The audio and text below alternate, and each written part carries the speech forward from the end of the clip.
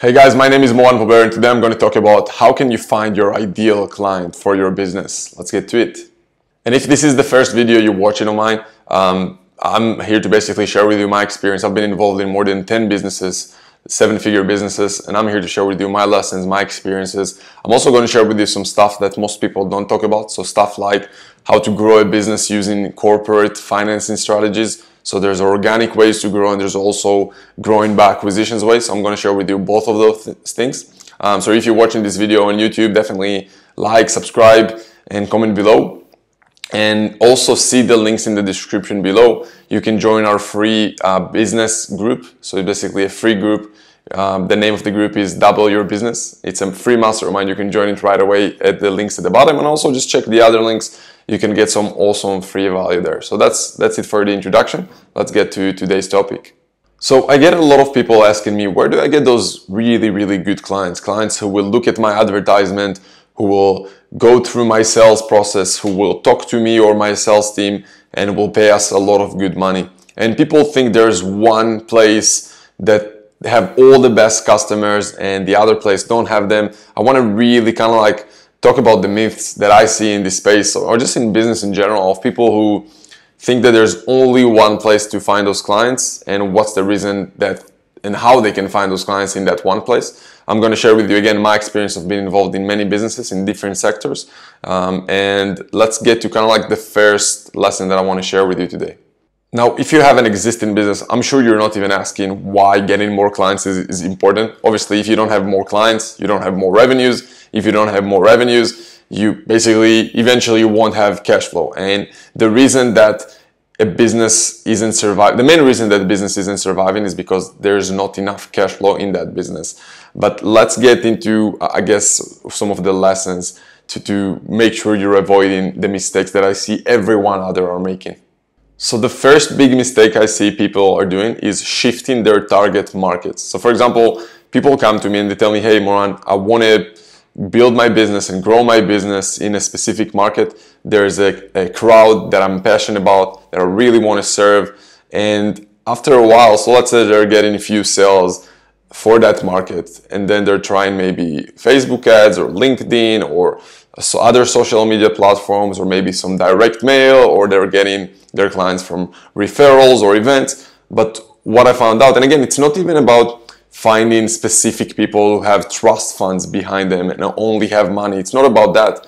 But the biggest mistakes that I see is people start with a specific target market and then during or wherever inside their business, they're just deciding to change their market when they're too small. So if you're not at above seven figure a year business, you can make a very good business just by focusing on one target market. And if you're constantly changing between target markets, it means you always need to start again and again to learn their language, to learn the way they're doing business. And it just makes no sense to start. It's literally like starting a business from scratch if you're shifting your market all the time. And it's not just about the time that you're spending learning that different market, learning their language, their fears, their frustrations. It's about the money that it's costing you. Like I know people who spend $10,000 in this platform to test it, then they test another $10,000 in that platform, test that, and all those different tests. I mean, eventually they can get to at least 50. I saw people who send me messages who spent 50 to $100,000 in advertising costs or trying to bring in new clients they're not profitable, that's money that they can use to literally go and buy a business with hundreds of clients. And it's just frustrating to see those mistakes because they're not focused on what they know already working. Now, most people out there will tell you, yeah, go and test that new thing. There's this new platform, there's this um, chatbot, or this new cool way to get clients. And it just makes no sense to try those things before you master one place. I know people who make 20 million a year in business from just one platform to bring clients. Now, you can split it into two ways. There's two ways you can grow that business. One of them, uh, and to get to the same target market, one of them is to just get clients in your platform. So let's say just doing Facebook ads or just doing Google AdWords or just doing direct mail um, and letters. The other ways, and, and, and there's nothing wrong about it, in my opinion, just the slow way to do that. So you get in clients one at a time. Hopefully, you're getting them profitable in a, in a profitable funnel because most businesses that are out there, they're getting clients many times that either break even or even at a loss. And they hope that they'll get money on the back end and become profitable after 30, 60, 90 days. So that's one way to grow your business, one client at a time. The other way is to go and buy a business and grow by acquisitions. And then you can buy a business that is in your target market and immediately get access to thousands or hundreds of clients that are already paying for those services and you can get access to them immediately. Now, the beauty is that it's probably going to cost you as much as it is to go and test a new platform and try to reach a new target market. The problem is that just most people don't know that they can do that even if they have a small business right now. Like you can literally take one or two months of marketing expenses and use that capital to go and buy a business. That's what we're doing with one of our clients and partners, So he have an existing business in whatever sector and he's buying a business that is literally three times bigger than his existing business. And all we're doing to buy that business is $20,000 at closing and we're buying their a million dollar business, literally. So Paul is going to have access to hundreds of clients in the same sector that he's currently in. And all he's doing is just finding the right business to buy. We call it a bolt-on acquisition. So basically, he's decided to focus on growing his business by acquisitions versus internally or organically, but just growing one client at a time. Now, maybe you're saying, okay, maybe that, that deal is one of, uh, I don't know, uh, the deal of the century, right?